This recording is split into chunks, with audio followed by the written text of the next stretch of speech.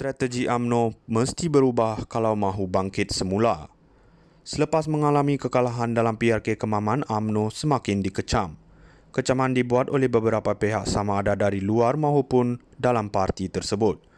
Sebagaimana biasa, Presiden AMNO Zahid menjadi sasaran utama kritikan dan kecaman yang ditujukan. Mereka berhujah punca utama AMNO hilang kepercayaan orang Melayu adalah kerana menyertai pakatan yang terdapat DAP di dalamnya. Persoalannya apakah hujah mereka itu satu fakta atau auta. AMNO kini sudah kehilangan sokongan dan kepercayaan dari orang Melayu walaupun tidak secara sepenuhnya. Tetapi sekiranya ia dibiarkan, tidak mustahil satu masa nanti nama AMNO akan hanya terpahat di dalam muzium politik tanah air. Hidup atau mati, AMNO banyak bergantung kepada sokongan dan kepercayaan dari orang Melayu. Tetapi ramai tidak bersetuju punca AMNO kehilangan sokongan orang Melayu adalah kerana DAP. Sebagaimana yang dikatakan Fuad Zakarshi, orang Melayu sudah memberikan isyarat penolakan sejak dari PRU 14 pada tahun 2018. Keadaan semakin membara di dalam PRU 15 apabila AMNO hanya berjaya memenangi 26 kerusi parlimen. Apakah ketika itu AMNO sudah melakukan kerjasama dengan DAP? Sekiranya DAP adalah punca penolakan orang Melayu, mengapa AMNO masih lagi memenangi PRK Dun Pelangai yang majoritinya adalah orang Melayu.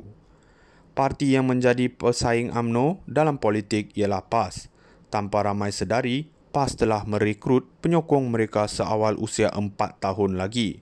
Selepas berbelas tahun diberikan pendedahan dengan pemimpin dan muslimat PAS, apakah ada kemungkinan mereka tidak taksub dengan pemimpin PAS? Jadi tidak sukar untuk mereka beriman dengan penipuan pemimpin PAS walaupun pelbagai penjelasan diberikan. Strategi AMNO mesti berubah kalau mahu bangkit semula. Selepas mengalami kekalahan dalam PRK Kemaman, AMNO semakin dikecam.